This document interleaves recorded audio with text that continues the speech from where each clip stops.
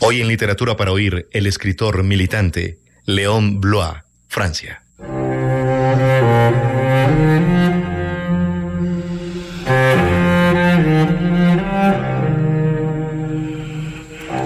Nacido en 1846 en Périgord y muerto en Bourg-la-Reine en 1917, Léon Blois se dedicó a través de la novela, el ensayo, la poesía y los panfletos a una cruzada en defensa y devoción del catolicismo, en contravía de su volteriano padre y más tras las huellas de su madre de raíces españolas y de profunda fe.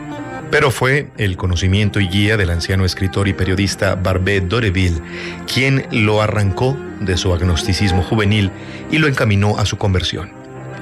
La corriente anticristiana era muy común en la Francia del siglo XIX y ello le trajo disgustos y enemistades con sus colegas escritores por su posición procatólica. Borges lo llamó coleccionista de odios, y los apodos que le dieron sus contemporáneos, el mendigo ingrato y otros más injuriosos, y sin embargo, el argentino confesaba que lo releía constantemente. Otros autores contemporáneos como Carpentier, John Irving, han reconocido su influencia en sus obras. De Blois traemos hoy algunos textos para nuestros oyentes. Comencemos con La Catarata de Dinero.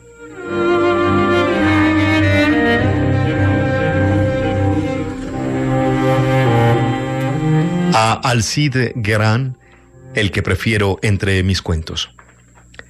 Tengan piedad de un pobre clarividente, por favor. Una historia de las más triviales. Había tenido la desgracia de contraer clarividencia como resultado de una espantosa catástrofe en la que había sucumbido una elevada cantidad de gente. Era, creo, un accidente de ferrocarril, a menos que se tratara de un naufragio, un incendio o un terremoto. Nunca se lo pudo saber. No se hablaba de ello con entusiasmo y cualesquiera fueran las precauciones o las delicadezas, se sustraía siempre a la insultante curiosidad de los individuos piadosos. Recordaré siempre su decorativa presencia de suplicante bajo el pórtico de la Basílica de San Isidro Labrador, donde pedía limosna. Porque su miseria era absoluta. Imposible resistir el enternecimiento respetuoso que inspiraba un infortunio tan raro y soportado con tanta nobleza. Se sentía que este personaje había conocido en otro tiempo, mucho mejor que otros sin duda, las alegrías preciosas de la ceguera. Una educación brillante había debido ciertamente afinar en él esta inestimable facultad de no ver nada, que es privilegio de todos los hombres, casi sin excepción, y criterio decisivo de su superioridad sobre los simples brutos. Antes de su accidente, era posible que fuera, se lo adivinaba con emoción, uno de esos ciegos notables llamados a convertirse en orgullo de su patria, y le quedaba de esta época una melancolía de príncipe de las tinieblas exiliado en la luz. Las ofrendas, no obstante, no llovían en el viejo sombrero que tendía siempre a los transeúntes. Un mendigo atacado por una enfermedad tan extraordinaria desconcertaba el ánimo magnificente de los devotos y de las devotas que apresuraban su andar al divisarlo en el santuario. Instintivamente desconfiaban de un necesitado que veía el sol en pleno mediodía. Aquello no podía explicarlo sino algún delito excepcional, algún sacrilegio sin nombre que expiaba de esa manera y los transeúntes lo mostraban desde lejos a su progenie como un testimonio viviente de las temibles sentencias de Dios. Había inclusive existido miedo alguna vez de contagiarse y el cura de la parroquia estuvo a punto de expulsarlo. Por suerte, un grupo de sabios honorables, de cuya competencia no podía dudarse, llegó a declarar, no sin acritud, pero de la manera más perentoria, que semejante mal no es contagioso. Vivía en fin parcamente de raras limosnas y del magro producto de los fútiles trabajos en que sobresalía. No había nadie como él para enhebrar agujas. También enhebraba perlas con rapidez sorprendente. Personalmente, yo me vi forzado en otros tiempos a recurrir a él varias veces para descifrar las obras de un psicólogo renombrado que había adoptado la costumbre de escribir con pelos de camello hendidos en cuadro. Fue así como nos conocimos y se constituyó aquella lamentable intimidad que había de costarme cierto día tan cara. Dios me preserve de ser duro con un pobre monstruo que por lo demás ha sido desgraciadamente enterrado hace mucho tiempo. Pero se juzga cuán nefasta debió ser para mi joven imaginación la influencia de una persona que me enseñó el secreto mágico, olvidado después de tantos siglos, de distinguir un león de un cerdo y el Himalaya de un montón de excrementos. Esta ciencia peligrosa estuvo a punto de perderme. Poco ha faltado para que yo compartiera el destino de mi preceptor. Había terminado casi por no andar más a tientas. Esta expresión lo dice todo. Mi estrella favorable, gracias al cielo, me salvó del abismo. Pude desprenderme poco a poco de esa influencia funesta, romper definitivamente el encanto y desempeñar todavía un buen papel entre los topos y los trescientos que juegan entre sí a la gallina ciega de la vida. Pero era necesario no perder más tiempo y me vi obligado a pagar con parte considerable de mis rentas la célebre habilidad de un oculista de Chicago que me curó definitivamente de la luz. No obstante, tuve curiosidad por saber qué había llegado a ocurrir con el terrible mendigo y aquí les mostraré con mucha exactitud su fin. Durante algunos años más continuó su mendicidad de clarividente en la puerta de la catedral. Su mal, se dice, aumentó con la edad. Más envejecía, más claro veía. Las limosnas disminuían en proporción. Los vicarios le daban todavía algunas monedas de cobre para aliviarse la conciencia. Extranjeros que no tenían miedo de nada, o seres que pertenecían al pueblo más bajo y que con toda probabilidad llevaban en sí el principio de la clarividencia, a veces los socorrían. El ciego de la otra puerta hombre justo y piadoso que levantaba buenas cosechas, lo gratificaba con una humilde ofrenda en los días de grandes fiestas. Pero todo esto era en verdad muy poco, y la repulsión que inspiraba cada día mayor permitía conjeturar que no tardaría en morirse de hambre. Era de creer que así lo había jurado. Con cinismo exhibía su enfermedad, así como los lisiados, los vociosos, los ulcerosos, los mutilados o los raquíticos exhiben las suyas en las peregrinaciones cuando las fiestas de algún santo. Él la ponía bajo la nariz de todos, los obligaba, por así decir, a respirarla. El asco y la indignación públicos llegaron al colmo, y la situación del granuja solo pendía de un cabello cuando ocurrió un acontecimiento tan prodigioso como inesperado. El clarividente heredó a un sobrino segundo de América, que había llegado a ser insolentemente rico con la falsificación del guano y a quien devoraron los caníbales de Araucania. El exmendigo no se preocupó por reclamar la devolución de sus restos, pero tramitó la sucesión y se dedicó a disfrutar en grande. Se hubiera podido creer que la inverosímil y casi monstruosa lucidez que lo había hecho célebre iba de pronto a volverse galopante, de la misma manera que una tisis precipita la desvergüenza. Ocurrió precisamente lo contrario. Algunos meses más tarde estaba radicalmente curado, sin necesidad de operación. Perdió toda su clarividencia y se volvió inclusive completamente sordo. Al no vivir más que para enjuagarse las tripas, se había liberado por fin del mundo exterior mediante la catarata de dinero.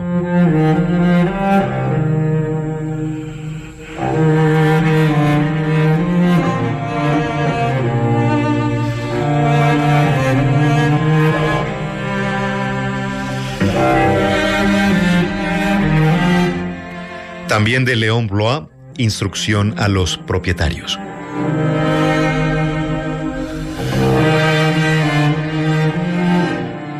Mañana vence el alquiler de octubre.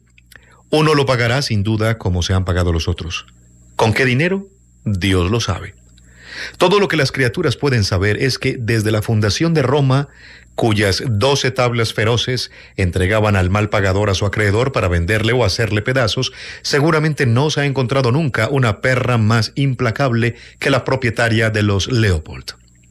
Precisamente está aquí, sentada ante su reclinatorio, un poco delante de Clotilde y de Leopoldo, llegados para oír misa mayor.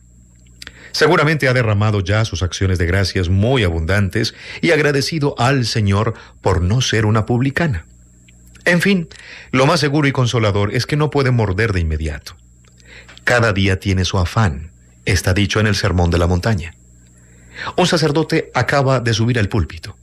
No es el cura, personaje virtuoso, sin indiscreción ni furor, que interrogado un día por Leopoldo acerca de los sentimientos religiosos de su parroquia, le contestó, Oh Señor, aquí no hay más que fortunas muy pequeñas, y que ni una sola vez vino a consolar a sus nuevas ovejas cuando estaban en los horrores de su suplicio.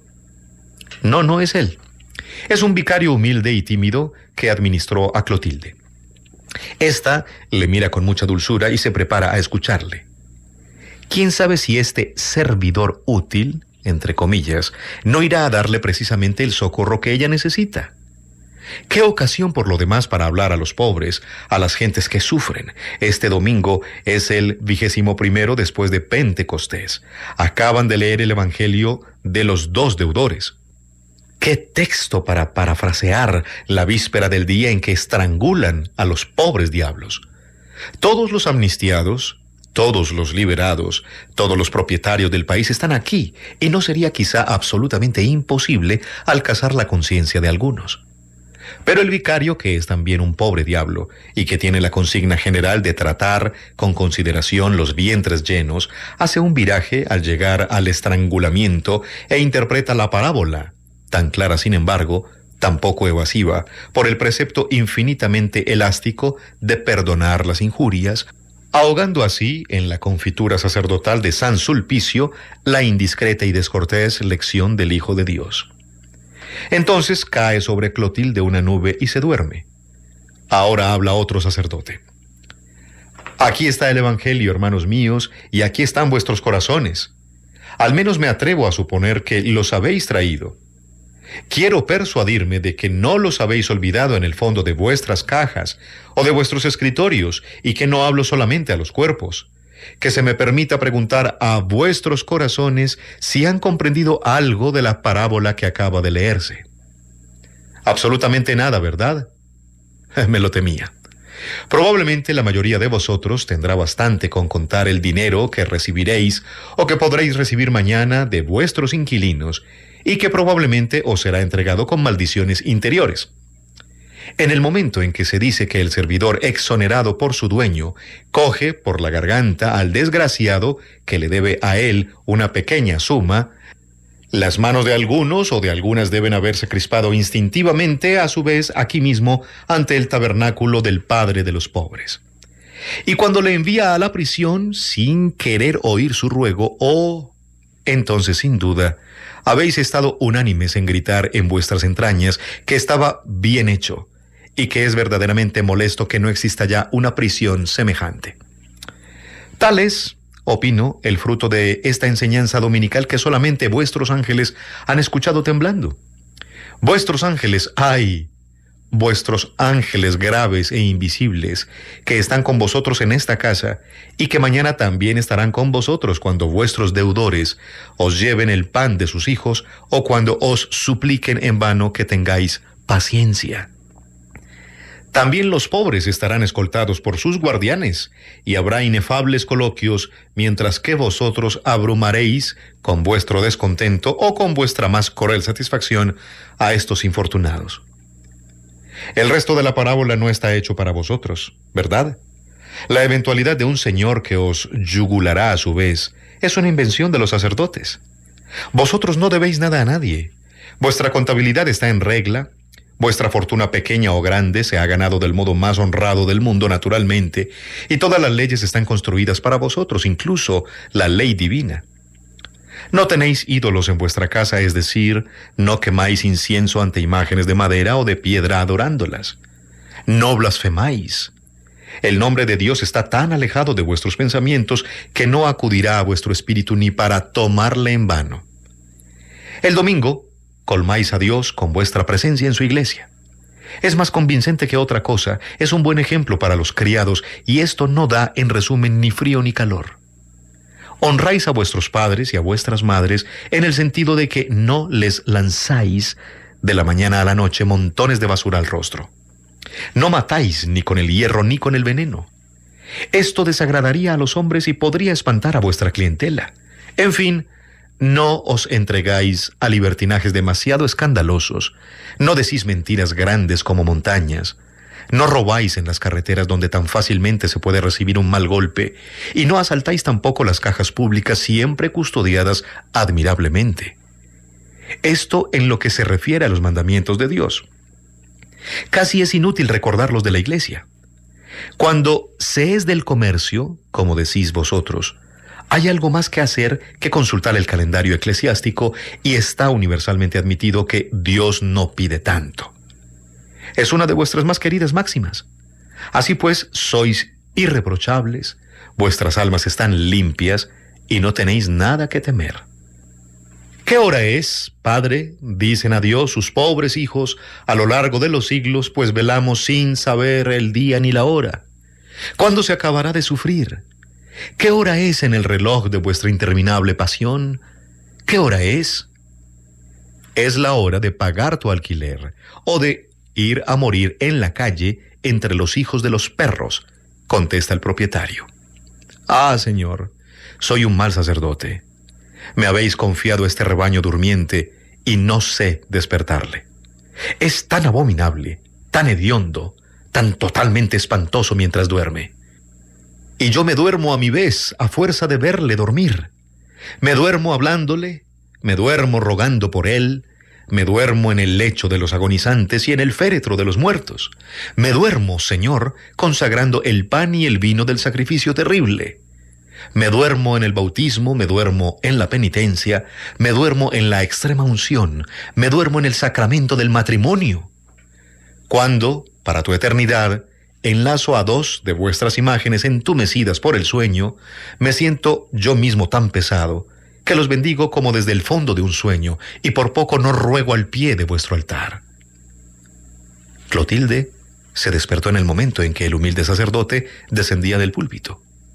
Sus miradas se encontraron, y porque ella tenía el rostro bañado en lágrimas, él debió creer que había sido su plática la que las había hecho correr.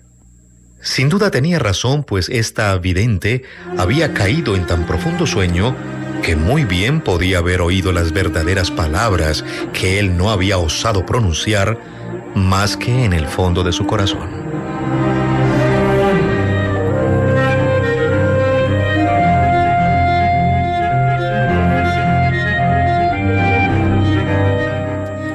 Literatura para Oír les estamos presentando al escritor militante, el francés Léon Blois.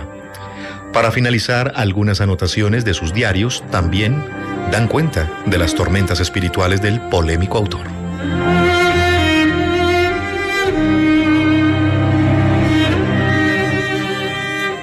Las peores amarguras de mi espantoso pasado renacen.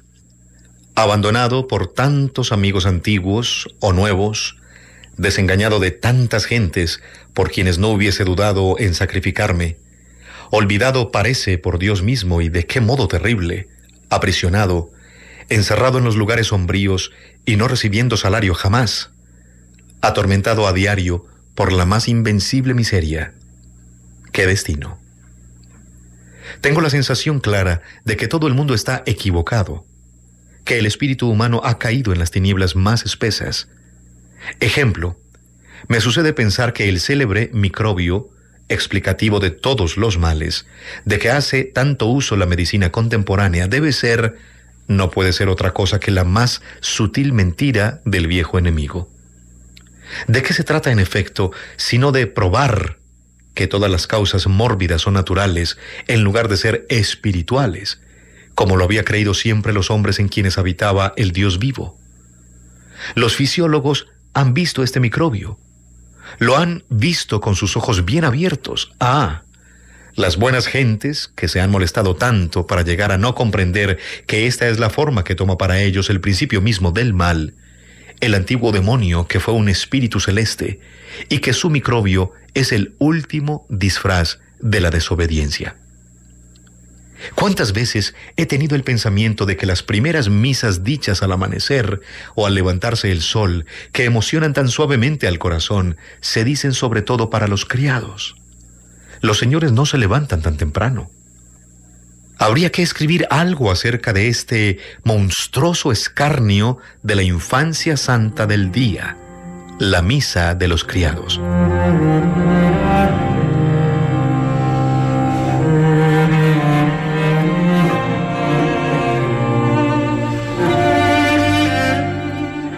Campanas de la noche de difuntos. Campanas que tocan mucho tiempo a causa de su parentesco con el espíritu que debe resucitar a todos los muertos. ¿No podríamos definir así el paraíso? ¿Un lugar en donde las campanas tocan siempre? La falta de dinero es de tal modo el misterio de mi vida que incluso cuando no tengo nada, parece que disminuye. La falta de dinero es el modo de mi cautividad. No hay azar, porque el azar es la providencia de los imbéciles, y la justicia quiere que los imbéciles no tengan providencia.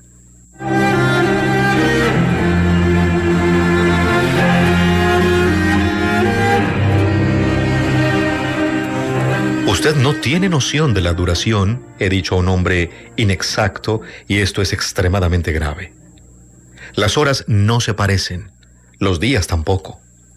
Existe entre cada hora del día y cada día de la semana una diferencia absoluta, esencial, divina.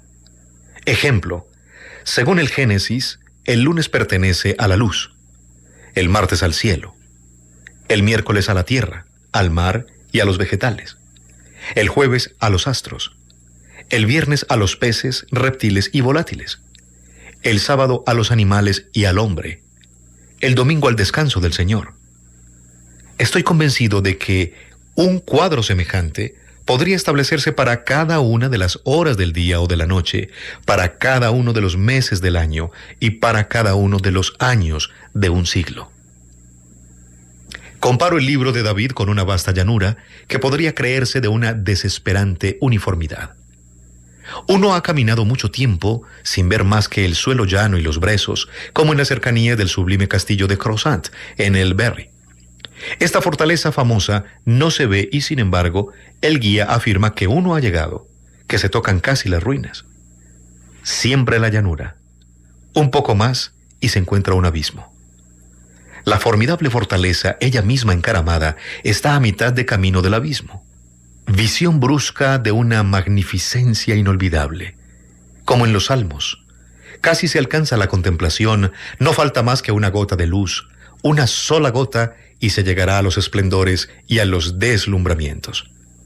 Sin duda se puede decir esto de cada uno de los libros santos, pero el Salterio es de tal modo el ombligo de las escrituras y Jesús es tantas veces llamado Hijo de David. Horrible situación la de los propietarios, condenados por su condición a perseguir a los pobres de quienes reciben el dinero sin querer conocer las privaciones, los sufrimientos, muy a menudo atroces, o incluso los duelos que este dinero representa. Exijo, dice Moloch, que los niños mueran. Veo la nada de todo lo que no es divino. Pienso en la música, en la música más bella del mundo, que no sería para Dios. Esta música en el Palacio de la Justicia y de la Luz no equivaldría al silencio. Y todos los demás ruidos del mundo, todas las palabras vanas proferidas por porteros o oradores famosos, ¿no parecerían por debajo del silencio? Infinitamente por debajo del silencio.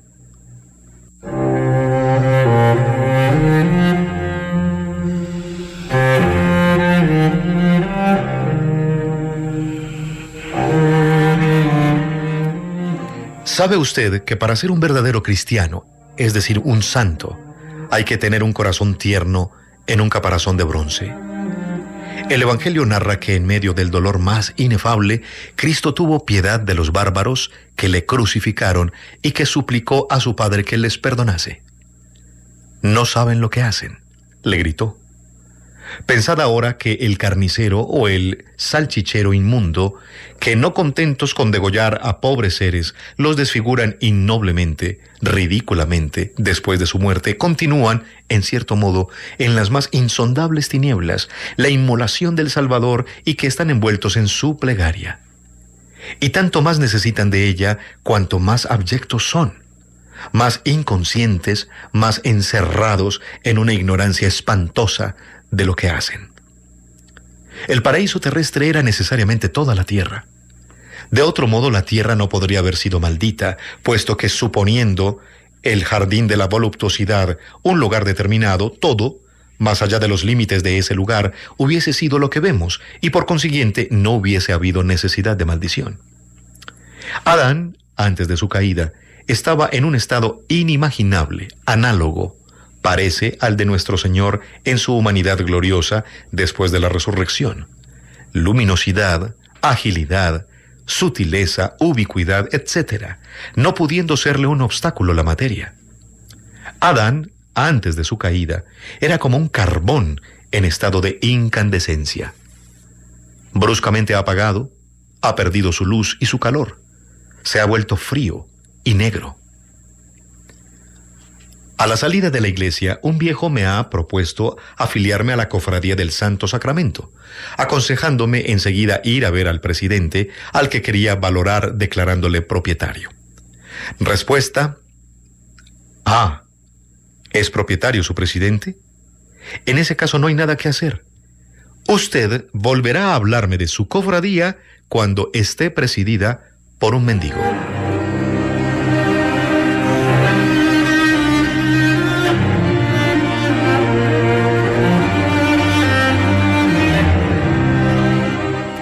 En Literatura para Oír el francés Léon Blois, el escritor militante.